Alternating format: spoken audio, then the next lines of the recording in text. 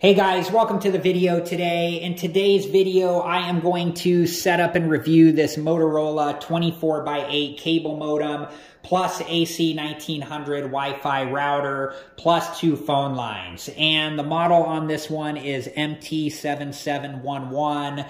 And we decided that we needed to upgrade our modem and router. Our current modem and router setup is just not working like it should. It's incredibly slow. And so we decided that we needed to upgrade. And uh, this is the one that we decided to go with. And we have Xfinity, and it says right here, certified by Comcast Xfinity for internet and phone services. Phone service requires Xfinity Voice. We don't have Xfinity Voice, so that's not a feature that we're going to be using, uh, but it's there in the future in case we ever do want to, uh, you know, upgrade and use that feature. Um, okay, so here is some information on the front of the box about this modem router phone line combination. And then here is a lot more information on the back of the box that you can read through to see if this is the right modem router and phone line combination for you. Um, okay, so I'm going to take everything out of the box and get it organized and then I'll be back and we'll go from there. Okay, so here's everything that was inside of the box. This is the modem router phone line combination. And then here is the ethernet cable and a phone line and a coax wrench and a Velcro cable organizer and the power supply. And then this is the quick start guide, and this is for Wi-Fi setup if you want to keep your current network name and password. And then this is um, information on how you can contact Motorola if you need to. So make sure that you read through all of this information before you do set up or use the Motorola modem router phone line combination. And on the bottom of the modem router combo is a label that has the network name and password information and some other information as well that we're going to need during the activation process. Okay, so here's the front of the modem router combo, and there was a plastic protective covering over the display here that I took off. And then let's take a look at the back here. So here is the back of the modem router combo. Here's the on off button. And then this is where the power supply plugs in.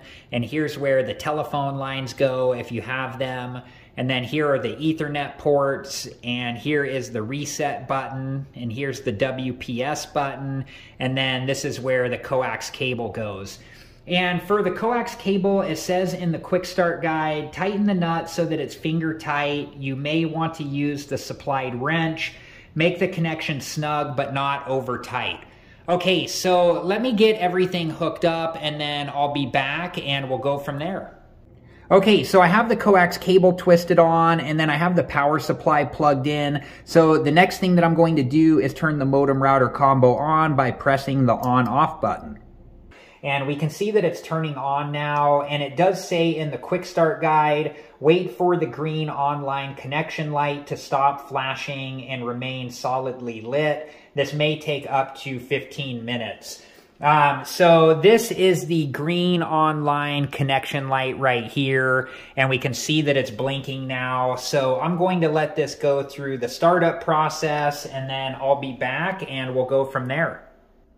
Okay, so we can see that the green online connection light is no longer flashing. So now we're ready for the next step, which is to activate the modem router combo. You can do that by going to xfinity.com slash activate or by calling the Comcast Xfinity phone number or through the Xfinity app.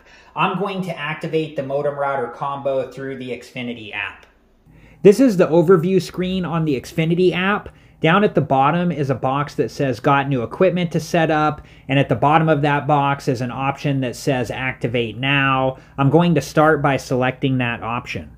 This is the next screen. I'm going to select the your own modem option. Here is the next screen. This screen says, let's activate your modem. We'll get you up and running in no time. I'm going to select start activation. This is the next screen, and this screen tells us to find an active cable outlet and then give some additional information about that. Since I've already done this, I am going to select next. And then here is the next screen, and this screen tells us to connect the coax cable and then give some additional information about that. And since I've already done this, I'm going to select next. And this is the next screen, and this screen tells us to power up the modem and gives additional information about how to do that. Since I've already done this, I'm going to select ready to go. And then this is the next screen, and this screen tells us let's identify your modem. This is where I'm going to enter the CM MAC number. Then once I enter the CM MAC number, I'm going to select next. And then this is the next screen, and this screen tells us, let's check your connection, and then some additional information about that. I'm going to select check connection. And then here's the next screen, and this screen tells us we're activating your service, estimated time five minutes. Please don't unplug your modem. And then here's the last screen, and this screen tells us your service is activated, then some additional information. I'm going to select continue to Xfinity.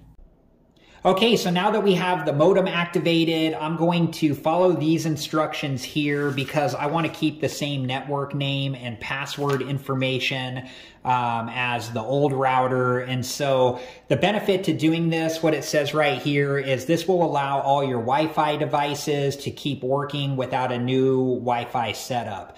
So I'm going to work on this now and then I'll be back to let you know if it worked. I entered the IP address that's in the instructions into the address bar and it brought me to this screen. This is where I entered the username and password information they provided in the instructions and then selected login. Then it brought me to this screen here where it says for security, you must enter a new password before proceeding. You may also change the username. I entered a new username and password and then selected save. And then it brought me back to this screen here where I entered the new username and password and then selected login. This is the next screen and this is where I entered the same Wi-Fi network name and password information as our previous router. When I was done, I selected save, then selected log out. Once I did this, everything we previously had connected to our old router was now connected to our new modem router. This Xfinity speed test is for the old modem and router. It shows download speed, upload speed, and latency. And this Xfinity speed test is for the new modem router combination and also shows download speed, upload speed, and latency.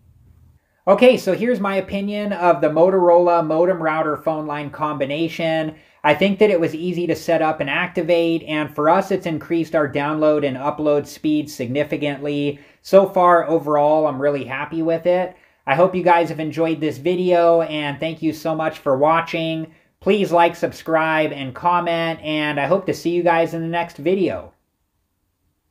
Have a good one. Thank you guys for watching. Please like, subscribe, and comment, and if you have the time, check out these other great videos.